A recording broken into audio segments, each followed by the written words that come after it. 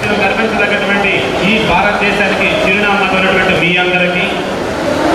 మన తల్లిదండ్రులు జన్మనిస్తే ఆ జన్మని సార్థకం చేసుకునే మన తీర్చిదిద్దే గురువులకి వశిష్ట డిగ్రీ కాలేజ్ ఇంత గొప్ప నామాన్ని సెలెక్ట్ చేసినటువంటి ఆ మహానుభావులకి అందరికీ నా నమస్కారం.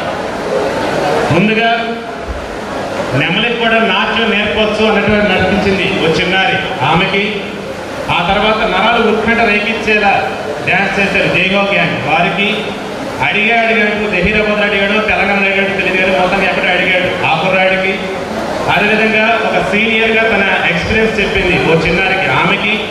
ఆ తర్వాత మన గురువులు అలా చూసుకున్నప్పుడు ఒక విద్యార్థిగా పరకాయ ప్రవేశం చేసినటువంటి కోటనే సార్కి మీ జీవితాలు దేదీప్యంగా వెలుగొందడానికి తన వంతు చిరుదిప్పుని వెలిగించి మీ ముందుంచారు కామత్ సార్కి. అదేవిధంగా చల్లని మాటలు చెప్పినటువంటి మహేష్ గారికి అదేవిధంగా ఒక గురువుగా తన ధర్మాన్ని చెప్పినటువంటి కెమిస్ట్రీ సార్కి వారందరూ కూడా నా నమస్కారం. ఇక ఈరోజు కనుక మనం పరిశీలించినట్లయితే అసలు ఫ్రెషర్స్ డే ఫ్రెషర్స్ డే అనగానే అంతా కూడా ఫ్రెష్గా వచ్చారా లేదా? ఫస్ట్ చెప్పండి. మైండ్స్ అన్నీ కూడా ఫ్రెష్గా ఉన్నాయా? లేదంటే గతం కాలంలో జ్ఞాపకాలు ఏమన్నా మీద ఒకటి తీసుకొచ్చారు? గతం కాలంలో జ్ఞాపకాలు ఉండవచ్చు కానీ ఆ జ్ఞాపకాలన్నీ కూడా ఎలా ఉండాలంటే మన కాలి కింద చెప్పులానో లేదంటే ఎదటానికి అవసరమయ్యే మెట్టులాగా ఉండాలి తప్ప ఆ జ్ఞాపకాల ఒడిలో మనం మొరలాడుకోనో లేదంటే ఆ జ్ఞాపకాల ఒడిలో మనం ఇబ్బంది పడుతానో ఏ రోజు ఉండకూడదు. అలా కనుక ఉన్నామంటే మనం ఎదగాల్సిన విధంగా ఎదగలేక ఇబ్బంది పడిపోతూనే ఉంటాం. ముఖ్యంగా చూసుకున్నట్లయితే ఇక్కడ వశిష్ఠ డిగ్రీ కాలేజీలో నన్ను ఇన్వైట్ చేశారు. సో ద ప్రెసిడెంట్ స్పీచ్ వాళ్ళు ఏమి ఇవ్వాలి ఏంటి అన్నప్పుడు నా మేనకోడలు పీజీ చేస్తున్నారు. నా మేనల్లుడు ఇంటర్మీడియట్ అవుతున్నారు మీ కాలేజ్లో ఉన్నారు మిగతా ఫ్రెండ్స్ సర్కిల్ అడిగాను యాంకర్స్ అడిగాను. వాళ్ళకి ఏం చెప్పారంటే humanity ethics values career reality of life update technology coming out from comfort zone వీటి మీద మీరు చెప్పండి శివ గారు. చాలా బాగా మీరు మాట్లాడతారు కదా బాగా చెప్తారు కదా అన్నారు.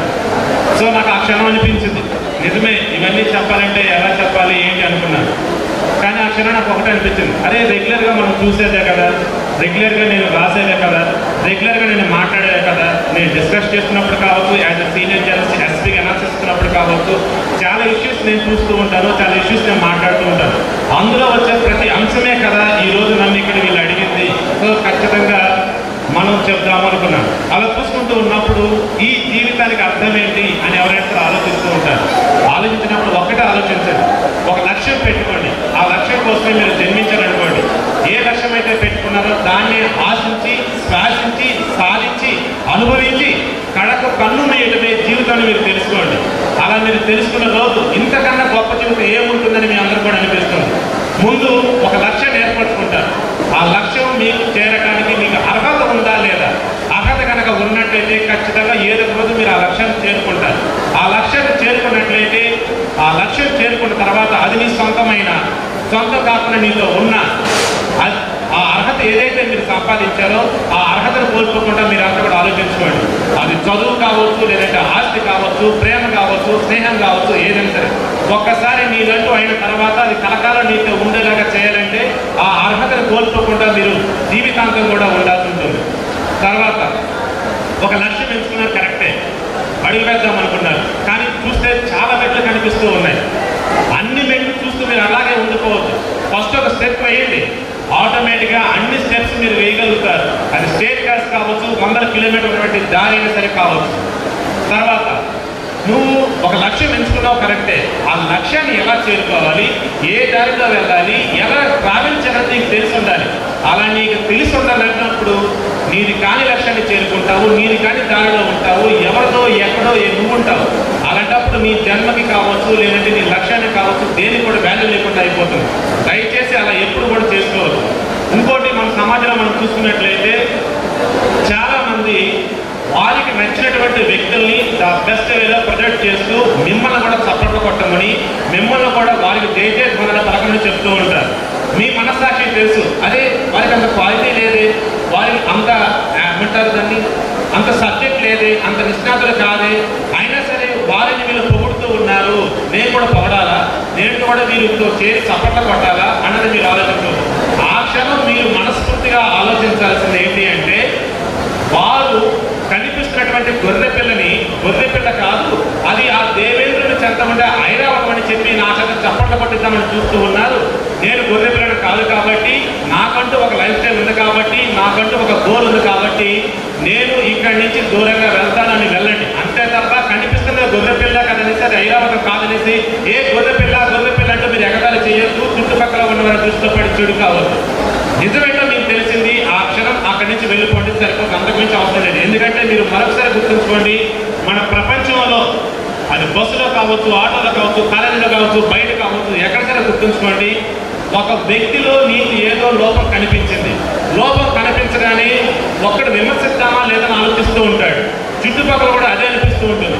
ఎప్పుడైతే ఒక వ్యక్తి విమర్శిస్తాడో ఆ తర్వాత చూసుకోండి వందల నోర్లు పోటీ పడతాయి వాడది వీడిది ఈ ఈమెదని అదే ఒకడు ఒక గొప్ప పని చేశాడు. వాడిని పొగడాలంటే ఈ ఇందాక ఎలాగైతే విమర్శించారో అదే విధంగా ఇప్పుడు కూడా వాడు పోడే అనుకున్నాం పొగిడినా సరే ఆ వాడు పొగిడాడు ఇంకెందుకులే? ఇలా వదిలేస్తూ ఉంటారు. ఇది మన చుట్టూ ఉన్నటువంటి సమాజం. కాబట్టి విమర్శల జోలికి వెళ్ళడం కన్నా గెలిచి చూపించడం నిన్న అన్నది మీరు నేర్చుకుంటే చాలా బాగుంటుంది నాకే కనిపిస్తూ ఉంది. మరొకటి ఇక్కడ మీరు ఆలోచించాల్సింది మనం రోడ్ల మీద చూస్తూ ఉంటాం. చిలక జోస్యం చెప్తూ ఉంటారు ఇళ్ళకు వస్తూ ఉంటారు. ఇక్కడ చిలక జోస్యం చెప్పేవాడికి జీవన పోరాటం. ఎందుకంటే అది చెప్తే తప్ప వాడు బతకలేడు ఆ రోజు డబ్బులు రావు. జరుగుతున్నప్పుడు కూడా ఒక సైడ్ వినాయక నిమజ్జనం జరుగుతుంది మరోసారి చిలక జోషి చెప్పి కూర్చుంటూ ఉన్నారు. వారి దగ్గర వందల మంది కూర్చొని చిలక దోషం చెప్పించుకుంటున్నారు. ఆ చిలక జోషం చెప్పించుకునే వాళ్ళు ఏంటంటే జీవిత ఆరాటం. వారి జీవితం ఎలా ఉండిద్దో ఏంటో అని ముక్కు పసలాడినటువంటి పంచరంలో పంచడంలో చిలక చెప్పిందని నమ్మటం. అక్కడ చిలక దోషం చెప్పేవాడిది అబద్ధమే ఈ చిలక దోషం చెప్పించుకున్న వాడిది అబద్ధమే. అయినా సరే అదే జీవితం అన్నట్టుగా బతికేస్తూ ఉంటారు. అలా మీరెప్పుడు కూడా బతకొద్దు. తర్వాత రీసెంట్గా జరిగింది కాబట్టి వినాయకుడి గురించి నేను చెప్తాను. కొంతమంది దేవుళ్ళగా చూడకుండా నేను చెప్పే పదమైనటువంటి కంటెంట్ మాత్రం తీసుకుంటాను ఓకేనా? ఫస్ట్ వినాయకుడు బొమ్మ తయారు చేయడానికి కొన్ని రా మెటీరియల్ కావాలి. ఆ రా మెటీరియల్ ఉన్నప్పుడు ఒక ముడి సరికారు ఆ తర్వాత ఒక బొమ్మ చేస్తారు. ఆ బొమ్మకు రూపం ఉండింది దానిని ఆ తర్వాత వినాయకుడి విగ్రహం అంటారు. దానిని కొని ఇంటికి తీసుకెళ్తారు. ఇంటికి తీసుకెళ్ళగానే ఈ తొమ్మిది రోజులు పదకొండు రోజులు అంతా పూజలు చేస్తారు. ఇలా పూజలు వినాయకుడు వినాయకుడి బొమ్మ అంటారు వినాయకుడి విగ్రహం వినాయక దేవుడు అంటారు. పూజలన్నీ అయిపోయినాయి. నిమజ్జనానికి తీసుకెళ్తూ ఉన్నారు. నిమజ్జనానికి తీసుకెళ్ళేటప్పుడు మరి వినాయక దేవుడు అంటూ వినాయక బొమ్మ అంటూ వినాయకుడు అని మాత్రమే అంటారు. నిమజ్జనం అయిపోయింది. మరలా నిమజ్జనం అయిన తర్వాత వినాయక బొమ్మ అని అంటారు. సో ఒక్కసారి దీనిని మన లైఫ్ కనుక కంపేర్ చేసినట్లయితే అమ్మ కడుపులో ఉన్నప్పుడు మనం కూడా త్వరలో ఈ భూమి మీదకి రావడానికి అమ్మకడుపులో ఉన్నటువంటి ఒక ముడి పదార్థం లాంటిలో ఆ తర్వాత ఎలాగైతే బొమ్మగా ఆయన రూపాంతరం చెందుతాడో అదేవిధంగా ఒక ఆడపిల్లగానో ఒక మగపిల్లడుగానో అమ్మ ఒడిలోంచి భూమి మీదకి వస్తాం. ఒక రూపం అనేది మనకు ఉంటుంది ఆ తర్వాత ఆయన ఎలాగైతే విగ్రహం అయ్యాడో అదేవిధంగా మనం బాలుడో బాలుడు యథావిధిగా యవనంలోకి అడుగు పెడుతూ ఉంటాం ఆ తర్వాత మధ్యలో ఒక స్టేజ్ ఉంటుంది ఆ తర్వాత చెప్తాను చివరి స్టేజ్లో నిమజ్జనం అనేది ఎలా ఉంటుందంటే నలుగురు మోసుకెళ్ళినటువంటి పాడి మీద మనల్ని తీసుకెళ్తారు అక్కడితో మన నిమజ్జనం అయిపోతుంది కానీ ఈ మధ్యలో నేను చెప్తాను ఏదైతే ఉందో అదేంటో తెలుసా ఏ రకంగా అయితే వినాయకుడు తొమ్మిది రోజులు పదకొండు రోజులు దేవుడిగా కొనియాడబడ్డాడో. అదే తొమ్మిది రోజులు అదే పదకొండు రోజులు ఇక్కడ మనకు వచ్చేసి కొన్ని సంవత్సరాలతో సమానం. ఈ కొన్ని సంవత్సరాలు కూడా మగవారు కావచ్చు వాడవారు కావచ్చు మన పుట్టిన పుట్టుకకి సార్థకత చేకూర్చుకునేలా మనం అందరం చేత కూడా దేవుడు అని కొనియాడబడేలా మనం నడుచుకోవాలి. ఆ రోజు మన పుట్టినటువంటి పుట్టిక ఒక అర్థం. ఆ అర్థం తెలుసుకున్న నాడు ఈ జీవితం సార్థకం చేసుకునేట్టు అవుతుంది. కాబట్టి ఆ రకంగా మీరు ఆలోచిస్తే బాగుంటుంది. ఇంకా చాలామంది చాలా టైం వేస్ట్ చేస్తూ ఉంటారు. సరదాలు కావచ్చు షికారులు కావచ్చు అమ్మాయిలు కానీ మిగతా వాళ్ళు కానీ అందమని మిగతాదే. కానీ ఒకటి మాత్రం గుర్తుంచుకోండి నిజమైనటువంటి మనసు మీలో ఉన్నప్పుడు నిజమైనటువంటి చిరునవ్వు మీ పెదవుల మీద ఉన్నప్పుడు గుండె ఎప్పుడో మీరైనప్పుడు అందం మీతో ఉన్నట్లే అది నిరంతరం మీతో ట్రావెల్ చేస్తున్నట్లే. కాబట్టి ప్రత్యేకమైనటువంటి అందం గురించో వేరేవాడి గురించో ఆలోచించద్దండి. ఈ రోజు ఉదయం లేచాము రాత్రి పడుకోబోతున్నాం అన్నప్పుడు ఈ మధ్యలో ఏం చేయాలి ఏంటంటే ఒక్కసారి ఉదయం మీరు ఆలోచించండి. మసకేసిన చీకట్లని తొలగించుకుంటూ మబ్బు చాటు నుంచి మన అందరి ముందుకు వచ్చేసి దేదీప్యమైనటువంటి వెలుగులు పంచే సూర్యుడు మన తోడు ఉండగా ఆయన వెలుగులో నిత్యం ఆయన పయనిస్తుండగా రాత్రి వేళ జాబిల్లి చెంతగా చేరినప్పుడు మన కనులు కలలతో సత్సాంగత్యం చేయాలి తప్ప కనులు దేని గురించో ఆరాటపడుతూ మాత్రం ఉండకూడదు. ఆ రకంగా మీరు కనుక ఉదయం నుంచి కనుక ట్రావెల్ చేసినట్లయితే రాత్రి వేళ జాతీయుల చెంత హాయిగా నిద్రించడానికి ఆస్కారం ఉంటుంది ఇది ఎప్పుడు సాధ్యమవుతుంది అంటే ఉదయాన్నే లేచిన తర్వాత నిన్నేం జరిగింది మొన్నేం జరిగింది అన్నది ఆలోచించకుండా ఏం జరిగింది అన్నది జస్ట్ ఆలోచించండి. కానీ ఈ రోజు ఏం చేయాలనేది మీ మైండ్లో ఉంచుకోండి. అప్పుడు ద బెస్ట్ మీద మీరు కూడా ట్రావెల్ చేయగలుగుతారు. తర్వాత చాలా మంది చాలా రకాలుగా ఆ దేవుడు ఈ దేవుడు అంటూ ఉంటారు. కానీ దేవుడు ఉన్నాడు నో డౌట్ కానీ నిజమైనటువంటి మనకు కనిపించే దేవుడు ఎవరో తెలుసా అండి? రైతన్న. ఎందుకు ఇప్పుడు ఇందాక నుంచి ఆయన మాట్లాడి చెబుతున్నాడు మధ్యలో ఎందుకు రైతన్న వచ్చాడు అంటే మీరు కనుక రైతు గురించి కనుక ఆలోచించినట్లయితే మీరు తిండి తినేటప్పుడు జీసస్ అనో లేదంటే శివుడనో లేదంటే అల్లా అని ఆలోచించకుండా రైతన్న గురించి ఆలోచిస్తారు. ఈ రైతన గురించి ఆలోచించినప్పుడు ఈ రోజు మీరు బిఎస్సీ అయిపోయింది రేపు ఎంఎస్సీ చేస్తారు రేపు ఇంకా పెద్ద క్వశ్చన్ వేస్తారు. అలా వెళ్ళినప్పుడు ఈ రైతు ఎలా బెస్ట్గా ఉండాలనేది మీరు ఆలోచిస్తారు. లేదా ఈ రోజు కూడా ఈ రైతుకి ఆ బెస్ట్ మనం ఏ ఇవ్వగలని ఆలోచిస్తారు. ఇలా ఆలోచించినప్పుడు పంట పండించే రైతుకి మనం రోజుకి మూడు పొత్తులు తినేటువంటి రైతుకి ఇంత బెస్ట్ మనం ఇస్తామని మీరు ఆలోచించారు అంటే ఖచ్చితంగా మిమ్మల్ని కన్న తల్లిదండ్రులని అదేవిధంగా మిమ్మల్ని విద్యావంతులు నేర్పి పెద్దవారు చేసిన గురువులను అందరిని కూడా మీరు గొప్పగా చూసుకుంటారు అందులో డౌట్ ఏం లేదు. కాబట్టి ఎవరిని మనం పూజించాలి ఎవరిని మనం గౌరవించాలి అనేది నిత్యం మన చుట్టూ కనిపించే వ్యక్తుల నుంచే మొదలవుతుందని మాత్రం మీరు మరవకండి. తర్వాత ఇప్పుడు ఏవైతే చెప్పానో ఒక్కసారి మీరు మననం చేసుకోండి. కొంతమందికి అర్థం అవ్వచ్చు కొంతమందికి అర్థం కాకపోయవచ్చు కొంతమ- కొంతమందికి అర్థమయ్యి కాకుండా కూడా ఉండవచ్చు. కానీ మరొకసారి చెప్తున్నాను సాయంత్రం పూట కావచ్చు రేపు కావచ్చు ఒక్కసారి నేను చెప్పి రివిజన్ చేసుకోండి ఆటోమేటిక్గా. లైఫ్ అంటే ఇంత సింపులా లైఫ్ అంటే ఇంత బాగుంటుందా? అరే దా ప్రస్తుత మనం లీడ్ చేయొచ్చు పిచ్చోళ్ళు ఎందుకో ఓ చిన్న ఆలోచన లాగానే సూసైడ్కి వెళ్తారు. పిచ్చోళ్ళు ఎందుకో భయపడిపోతారు? ఎందుకో నాలుగు గోడల మధ్య అష్టపండులాగా బతికేస్తూ ఉంటారు అనేటువంటి ఆలోచన మీకు వస్తే జనాల కనుక చూసినట్లయితే కాబట్టి ఈ రోజు ఇప్పుడు మీకు ఏవైతే అంశాలు చెప్పానో ఈ అంశాలే నిత్యం నడిపిస్తూ ఉంటాయి. సో నేను చెప్పడం కొన్ని అంశాలే. ఇక ఈ రోజు మీకు కొంతమంది వ్యక్తులు పరిచయం చేస్తాను. ఈ వ్యక్తుల్ని పరిచయం చేస్తూ వాళ్ళ గురించి కొన్ని పాయింట్స్ చెప్తూనే లైఫ్ అంటే ఏంటి హ్యుమానిటీ కావచ్చు ఎథిక్స్ కావచ్చు వాల్యూస్ కావచ్చు అవన్నీ దానిలో ఏ రకంగా మిలితమేమని చెప్తాను. ఇప్పుడు నేను చెప్పే వ్యక్తులు మీకు తెలిసి ఉండకపోవచ్చు. కానీ ఇంటికి వెళ్ళాక మీ అన్ననో అమ్మనో నాన్ననో అడగండి. లేదంటే రేపు ఎల్లుండో మన డిగ్రీ కాలేజ్ మన లెక్చరర్స్ని అడగండి. ఎందుకంటే వాళ్ళ గురించి వివరంగా చెప్తారు. నేను మాత్రం క్లుప్తంగా చెప్తాను. మన ఈ సొసైటీలో బ్రతుకుతూ ఉన్నాం.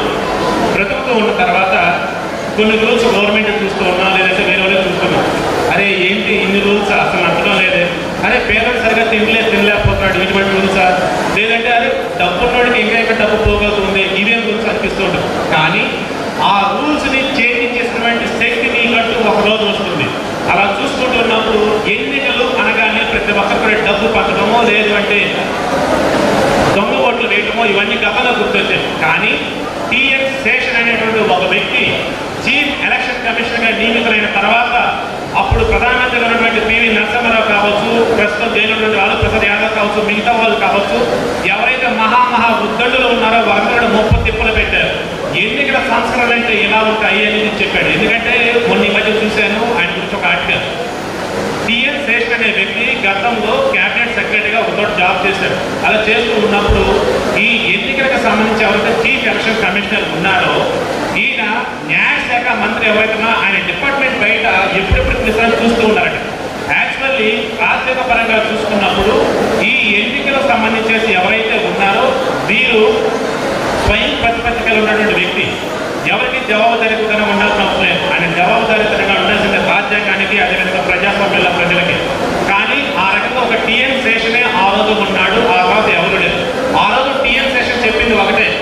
నేను చూశాను మన భారతదేశంలో స్వతంత్ర భారతదేశంలో ఎన్నికలంటే దొంగ ఓట్లు లేదా నచ్చిన ఇష్టం వచ్చిన సారా ప్యాకెట్ల పట్టడం డబ్బులు పట్టడం ఆటతో వాడు గెలవటం.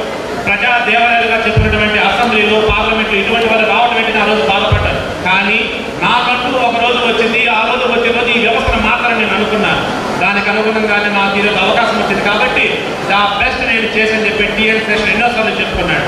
సో అలాగే ఈ రోజు కూడా మీరు కూడా విద్యా వ్యవస్థ కావచ్చు లేదంటే రెగ్యులర్గా మీరు ఉండే వ్యవస్థలో ఎక్కడన్నా మీకు ఏదన్నా లోపల కనుక అనిపించినట్లయితే ఏదో ఒక రోజు నేనంటూ ఆ పొజిషన్ పెడతాను కదా వెళ్ళిన రోజు దానిని మార్చే శక్తి నేను అవుతానన్నది మాత్రం మీ మనసులో ఉంచుకోండి. తర్వాత ఈరోజు ఇస్రోకి సంబంధించేసి చంద్రయాన్ టూ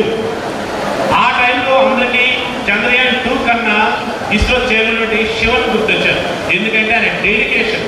ఒక సాధారణ మధ్యతరగతి కుటుంబం వరక చెప్పాలంటే బిల్లో మధ్యతరగతి కుటుంబంలో పుట్టాడు ఆయన.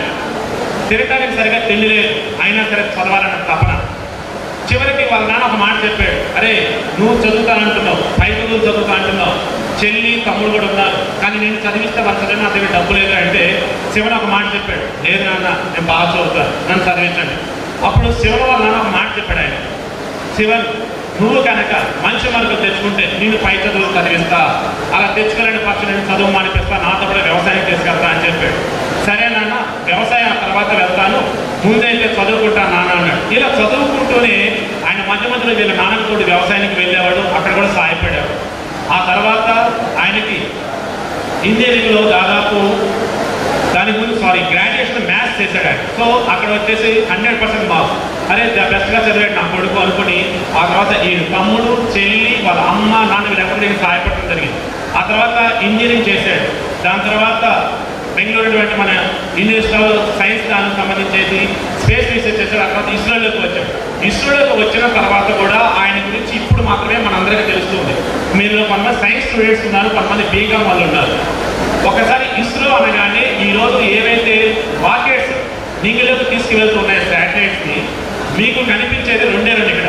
ఒకటి బిఎస్ఎల్వి రెండు జిఎస్ఎల్వి మన చంద్రయాన్ టూ తీసుకెళ్ళింది జిఎస్ఎల్వి అంతకుముందు మొత్తం కూడా నూట నాలుగు ఉపగ్రహాలను కూడా ఆకాశంలో చేరవేసింది పిఎస్ఎల్వి ఈ పిఎస్ఎల్వి స్టార్టింగ్లో ఫెయిల్ దానిని అప్రధానంగా విద్యాపరంగా ముందుకు తీసుకువెళ్ళింది శాస్త్రజ్ఞులు అందులో నెంబర్ వన్ ఉన్నది శివన్ ఎందుకంటే అంత డెడికేషన్ ఆయన. అదేవిధంగా ఈరోజు జిఎస్ఎల్వి బాహుబలి అంటూ పిలిచారు దాన్ని. ఈ జిఎస్ఎల్వి మాత్రమే ద్వారా లాంచ్ చేయడం జరిగింది. చివరి మినిట్లో ఆర్బిటార్ నుంచి ల్యాండర్ విడిపడిన తర్వాత చంద్రుడిని రీచ్ అవడానికి జస్ట్ నాలుగు వందల మీటర్ల పైన మాత్రమే కమ్యూనికేషన్ కట్టాయి ఆ తర్వాత అది కిందికి దిగిందో లేదో తెలియదు అయినా సరే చాలా మంది ఫెయిల్ అయింది ఫెయిల్ అయిందని అంటూ ఉంటే నేను శివన్ అని చెప్పి పొద్దుతంటే ప్రోత్సహించినటువంటి వ్యక్తి మన దేశ ప్రధాని. ఆయన ఆ రకంగా ప్రోత్సహించిన తర్వాత యావత్ దేశం కూడా ఏమంటుందో తెలుసా? ఇటువంటి నాయకులు కదా మనకు కావాల్సింది. ఎప్పుడైతే ఈ దేశంలో ఉన్నటువంటి గొప్ప వారిని ప్రోత్సహిస్తారో గొప్పగా చదువుకుని మంచి నైపుణ్యం వారిని ప్రోత్సహిస్తారో ఆ రోజు ఒక బ్రిటనో ఓ అమెరికానో ఓ ఫ్రాన్సో జర్మనీ వెళ్ళడానికి ఏ భారతీయుడు కూడా ఇష్టపడ్డు మీరు నమ్ముతారో లేదు ఇస్రో చేరినటువంటి శివనికి గతంలో ఎన్నో ఎన్నో ఫారిన్ యూనివర్సిటీలు ఆఫర్ చేసే వెళ్ళలే. చాలా చాలా పెద్ద పెద్ద ఎంఎస్సీ స్థాపన చేసాయి కొన్ని లక్షల జీతంతో అయినా సరే వెళ్ళడం ఒకటే అనుకున్నాడు. భారతీయుడిగా పుట్టా ఈ భారతీయుడిగా పోతా. ఈ మధ్యలో నా జన్మకి సార్థకత చేకూరుతుంది అంటే నేను చదివిన చదువులో ఏదైతే నైపుణ్యం నేను నేర్చుకున్నానో ఈ నైపుణ్యం వల్ల ఈ దేశానికి మేలు జరగాలి అనుకున్నాడు.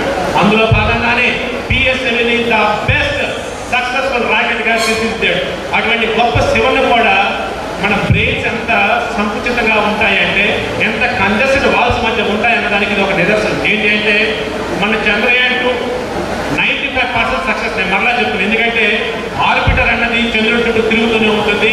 అది వన్ ఇయర్ దాదాపు పనిచేస్తుంది వీలైతే దాన్ని ఎక్స్టెండ్ కూడా చేసుకోవచ్చు.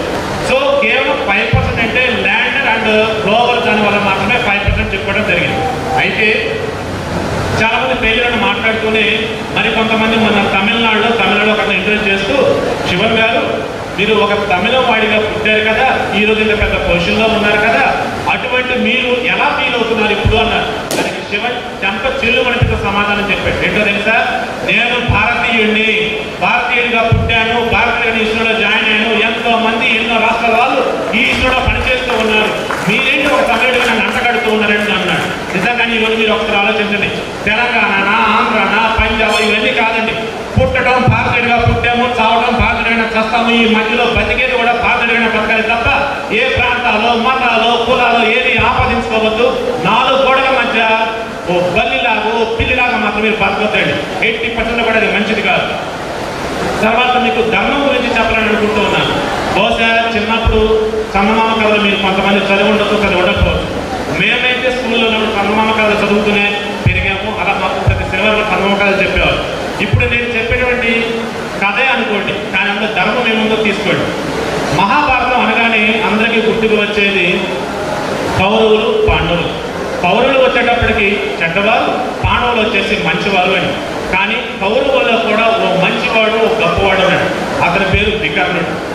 ఈ నూరుగురు అన్నదమ్ముల్లోనే అతను కూడా ఉన్నాడు. ఎప్పుడైతే ద్రౌపది వస్త్రాభరణం జరుగుతూ ఉన్న క్షణంలో జోదంలో ధర్మరాజు ఓడిపోయినప్పుడు ఈమె ప్రశ్నించింది సభని. ఏమని? నన్నోడి తన్నోడిన తన్నోడి నన్నోడిన అని ప్రశ్నించినప్పుడు ఆ సభలో భీష్ముడు ద్రోణుడు ధృతరాష్ట్రుడు ఇంకా ఎంతో మంది ఉద్ధడులు ఉన్నా సరే ఎవరో సమాధానం చెప్పలేక ఉండిపోయారు. ఏ భార్యనైతే జోదంలో ఓడిపోయిన ధర్మరాజు సైతం సమాధానం చెప్పలేక తలదించుకొని కూర్చున్నాడు అదేవిధంగా తన కథతో దేవేంద్ర గడగడానికి భీముడు తలదించుకొని కూర్చున్నాడు అదేవిధంగా మానవుడు అంటే నరుడు అని చెప్పగానే పర్యాయ ఒకటి చెప్తూ ఉంటారు. అర్జునుడు అని. అటువంటి వ్యక్తి కూడా తలదించుకొని కూర్చున్నాడు. ఆ క్షణం కౌరవుల పక్షాన ఉన్నటువంటి ఒకే ఒక వ్యక్తి తల ఎత్తి మాట్లాడాడు. అతని పేరే వికర్ణుడు. ఇది కౌరవ సభ కాదు. ఈ రకంగా ఒక స్త్రీని ఈ రకంగా మీరు చేస్తున్నారంటే కౌరవ వంశానికి ప్రతిష్టకి మాయన మచ్చ అవుతుంది. ఇది తప్పు అని చెప్పి అలా ఎదిరించినటువంటి ఒకే వ్యక్తి వికర్ణుడు. ఇటువంటి వికర్ణుడు కూడా కౌరవులు పాండవులు అన్నప్పుడు పాండవులు మంచివారే కదా? మరి కౌరవుల పక్షాన నేను పుట్టాను కౌరవుల ఉత్పత్తిని నేను బ్రతికాను. అలాంటప్పుడు నేను ఇక్కడ ఉండాలా? కురుక్షేత్రంగా స్టార్ట్ అవుతున్నప్పుడు పాండవుల సైడ్ వెళ్ళాలనే ఒక నిర్ణయానికి వచ్చినప్పుడు ఈయన అసలు ఏమీ ఆలోచించకుండా కౌరవుల పక్షానే ఉండిపోయాడు. కానీ ఈ కౌరవుల్లోనే ఒక వ్యక్తి ఉన్నాడు ధృతరాష్ట్రుడు కొడుకు ఈ వర్ణంలో యూత్సుడు అని అతను కౌరవ పక్షాన ఉంటే ఎక్కడ చచ్చిపోవాల్సిన ప్రాణ భయంతో ఆటోమేటిక్గా పాండవుల సైడ్ వెళ్ళాడు. కానీ వికర్ణుడు మాత్రం ఏ రోజు కూడా అలా ఆలోచించలేదు. అంటే తాను ఎక్కడ తిన్నాడు ఎక్కడ పుట్టాడు ఏం చేశాడు ఇది మాత్రమే ఆలోచించాడు. మొదటి నుంచి కూడా ధర్మం అన్నట్టుగానే బతికాడు తప్ప తన ప్రాణం పోతుందని ఆలోచించి వేరే సైడ్ మాత్రం వెళ్ళలేదు.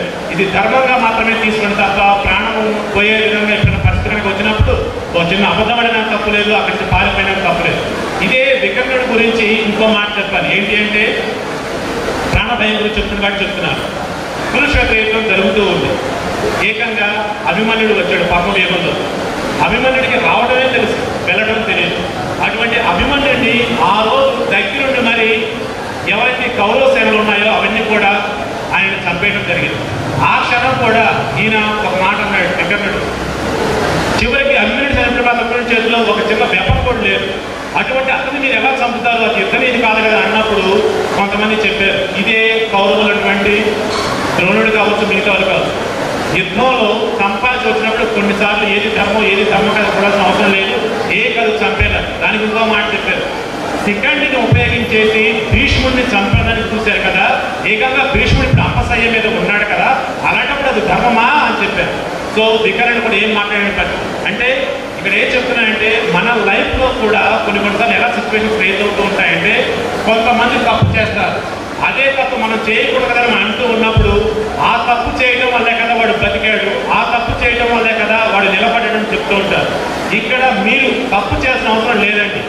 తప్పు చేయకుండా ఆ క్షణం అక్కడి నుంచి తప్పకుండా సరే చాలు.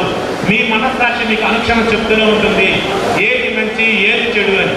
ఇలా చూసుకుంటున్నప్పుడు ఇదే వికర్ణుడిని చంపాల్సి వచ్చినప్పుడు భీముడు ఇదే కురుక్షేత్ర యుద్ధంలో ఎన్నోసార్లు అక్కడికి తప్పుకుందామని చూశాడు. కానీ ఆ క్షణం వికర్ణుడు ఎదురుగా నిలబడి ఎదురుగా ఉన్నది మృత్యు రూపంలో ఉన్నటువంటి భీముడైనా సరే భీముడికి ఒకటే చెప్పాడు యుద్ధం చేయడానికి వచ్చాం. యుద్ధం చేయడానికి వచ్చినప్పుడు కాళ్ళ పేడో తెలుసుకోలేదు తప్ప ప్రాణ సంకటం కాదు ఇక్కడ. రా భీమా అని చెప్పాడు. ఆ క్షణం ఇక్కడ వికర్ణుడు చనిపోవడం జరిగింది. ఇక్కడే ఒక మాట చెప్తాను. కొంతమంది మన చుట్టూతూనే ఉంటారు మనవారిలాగే ఉంటూ ఉంటారు. కానీ మనకి వెన్నుపూడి పొడవాలని చూస్తూ ఉంటారు.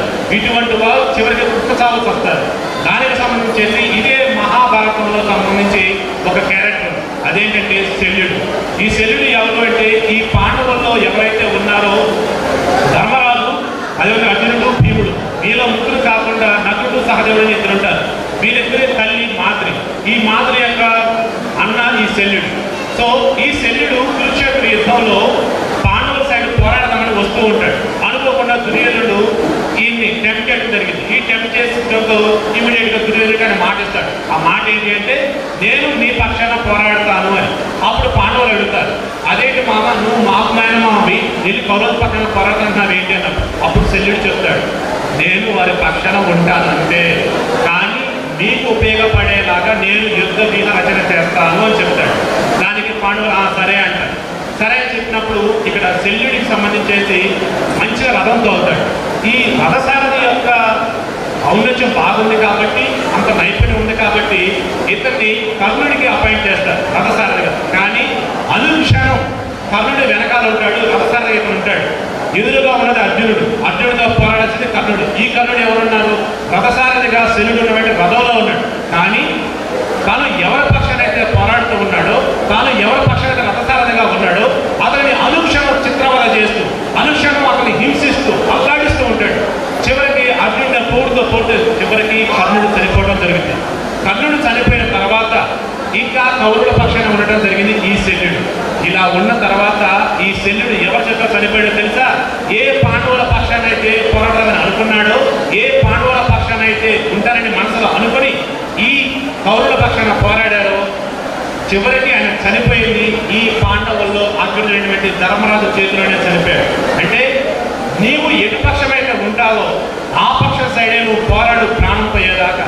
అంతే తప్ప మధ్యలో ఎవడు కాయలు చూపాడానో లేదో ఏదో ఆశ చూపాడానో చివరిగా చేస్తే పోయేది ప్రాణమే అన్నది ఈ శల్యుడు ఇది మహాభారతానికి సంబంధించిన ప్రాణ జాతరలో భాగం ఈరోజు మీరు చూడండి కొంతమంది నక్సలైట్లు కావచ్చు మావోయిస్టులు కావచ్చు లేదా రాజకీయ నాయకులు కావచ్చు చివరికి చేసేది ఒకటి దీనివల్ల వాళ్ళ లైఫ్ స్పాయిల్ అవ్వడం తప్ప వేరే ఏముంటుంది సో వేరే సైడ్ డైవర్ట్ కాదు.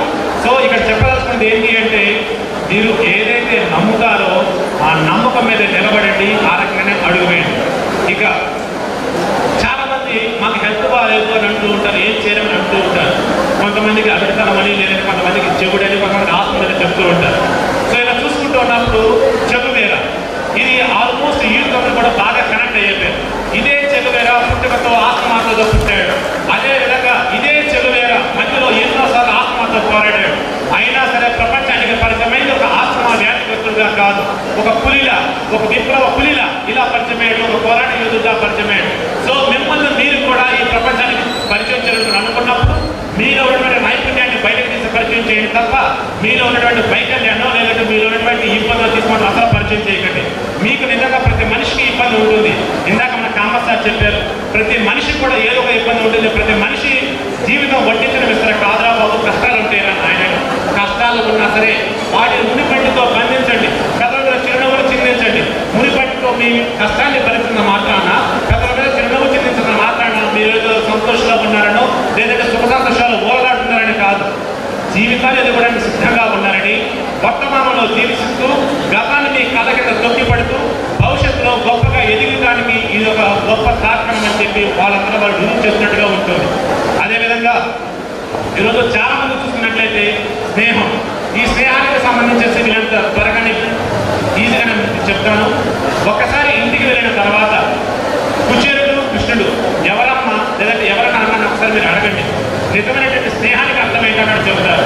చిన్నప్పుడు కలిసి చదువుకున్నారు. సాందీప్ ఒక గురువు దగ్గర వీరిద్దరు కూడా కానీ చివరికి ఏమైందంటే యాక్చువల్గా కుచేరుడు అంటూ ఉంటారు కుచేరుడు అసలు పేరు సుధాముడు కుచేరుడు అంటే తీరినటువంటి పాలినటువంటి వస్త్రాలు ధరించి ఒక వ్యక్తి అన్నట్టు సో ఈ సుధాముడు జీవితం అస్తవ్యస్తంగా సాగిపోతున్న దాని కారణం ఏంటో తెలుసా? చిన్నప్పుడు కృష్ణుడు అదేవిధంగా సుధాముడు ఇద్దరు కూడా ఒక అరణ్యానికి వెళ్తారు. ఏది? వీళ్ళ గురువు యొక్క భార్య కొన్ని వంట పుల్లలు ఇష్టండి అని చెప్పినప్పుడు ఈలోపు అక్కడ అరణ్యంలో వర్షం రావడంతో చెట్టు మీద ఒక కొమ్మ మీద కృష్ణుడు ఉంటాడు ఆ కొమ్మ కింద ఈ సుధాముడు ఉంటాడు ఈలోపు సుధాముడికి ఆకలేసింది ఆకలిస్తున్నట్టు అటుకులు తింటూ ఉంటాడు. ఈ అటుకులు తింటూ ఉన్నప్పుడు కృష్ణుడు అడుగుతాడు కృష్ణుడు అడగగానే నేను అటుకులు తినడం లేదు చలి నా పెద్దలు ఉరుకుతున్నాయి అంతే అని చెప్తాడు అంటే అప్పుడు కృష్ణుడికి అర్థమైంది ఓహో అన్నమా? అంటే ఆకలికి తట్టుకోలేక మనిషి అబద్ధం ఆడతాడా? స్నేహితుడి దగ్గర కూడా ఈ రకంగా ఉంటారా అని. సో ఇలా చూసుకుంటూ ఉన్నప్పుడు చివరికి ఆ అడుగుల ప్రసాదాన్ని కృష్ణుడు స్వీకరించి ఆ కుచేరుడికి తన మొదటి గుప్పెడుతోనే తన దారిద్రాన్ని కూడా పోగొడతాడు. రెండో గుప్పెడుతోని తనకు కష్టోషాలను ప్రసాదిస్తాడు. సో ఇదే విధంగా మీరు స్నేహితులకి ఎప్పుడైతే మీరు ఎంత పెద్ద పొజిషన్లో ఉన్నా సరే అక్కడ తప్పక మిత్రుడైనా మిత్రులైనా సరే రేపు రోజు మీ మిత్రులు ఎప్పుడైనా సరే ఎక్కడైనా సరే ఇబ్బందుల్లో ఉంటే దగ్గర తోడ్పాటును అందించండి. వారికి మీరే అంతా చేయనివ్వండి సో ఇప్పుడు నేను ఏవైతే చెప్పానో ఇవన్నీ కూడా జస్ట్ మీ మైండ్లో ఉంచుకోండి. తర్వాత వశిష్ఠ డిగ్రీ కలనే పేరు పెట్టారు కదా ఈ వశిష్ఠుడు ఎంత గొప్పవాడు అన్నది ఒక్కసారి మీరు మరలా కనుక తెలుసుకున్నట్లయితే మీ జీవితాలు ఈ వశిష్ఠ డిగ్రీ కళకి వచ్చినందుకు ఎంత గొప్పగా ఉండబోతున్నాయి ఏంటంటే మీకు మరోమారు అర్థమవుతుంది. సో దీన్ని కన్క్లూజ్ చేసే ముందు మీకు ఒక బుక్ నేను సజెస్ట్ చేస్తాను. ఈ బుక్ ఎందుకు చెప్తున్నాను అంటే ఇప్పుడు నేను ఏవైతే చెప్పానో ఈ అంశాలు ఇక మన సమాజంలో ఎవరైతే బెస్ట్ పర్సనల్ డెవలప్మెంట్ అనుకుంటూ ఉన్నామో వాళ్ళు అదేవిధంగా ఇప్పుడు మన కామర్స్ గారు చెప్పినటువంటి కొన్ని అంశాలు కావచ్చు. ఇవన్నీ కూడా ఈ బుక్లో కేంద్రీకృతమై ఉంటాయి. ఆ బుక్ పేరు the laws of power sorry the forty eight laws of power తెలుగులో వచ్చేసి నలభై ఎనిమిది శక్తి సూత్రాలు అంటుగా ఉంటుందండి. రాబర్ట్ గ్రీ దీని బయట ఖచ్చితంగా మార్కెట్లో దొరుకుతుంది. ఖచ్చితంగా ఇది తీసుకోండి. ప్రతి ఒక్క వ్యక్తి దీని కనుక చదివినట్లయితే మీలో అత్యద్భుతమైన మార్పు అయితే ఖచ్చితంగా వస్తుంది. మళ్ళా చెప్తాను the forty eight laws of power. So దీన్ని కనుక మీరు కనుక చదివినట్లయితే మీరు గొప్ప అయిపోయినట్టు చివరిగా నేను చెప్పదలుచుకున్నది ఒకే ఒకటి. Update technology coming out from comfort zone. ఈరోజు టెక్నాలజీ అనగానే బయట క్రికెట్ ఆపేసేసి వచ్చి మొబైల్స్ ఉన్నటువంటి వీడియో గేమ్స్ అర్థం కాదు. క్యారమ్ బోర్డు వచ్చేసి ఇక్కడ మొబైల్ కూర్చొని ఆడతాం కాదు. బయట ఫ్రెండ్స్తో సరదాగా ఎక్కడికో వెళ్ళేది మానేసేసి ఇక్కడ మొబైల్ ఇంట్లో కూర్చొని మొబైల్లో గేమ్స్ ఆడతాం కాదు. టెక్నాలజీకి అప్గ్రేడ్ అవ్వకుంటే ఈ రోజు ఆ టెక్నాలజీని యూజ్ చేసుకొని యావత్ ప్రపంచమైన దుప్పెట్లో ఉన్న విషయం మనం తెలుసుకోవాలి. ఏ రకంగా దీన్ని యూజ్ చేసుకుని ఎంతమంది ఏ రకంగా డెవలప్ అయ్యారో మీరు చూసుకోండి. ఎక్కడ కూడా చెడు సామాసాలు కావచ్చు లేదంటే టెక్నాలజీని మిస్యూజ్ చేసుకుంటూ మాత్రం మీ జీవితాన్ని స్పాయిల్ చేసుకోవద్దండి. ఎందుకంటే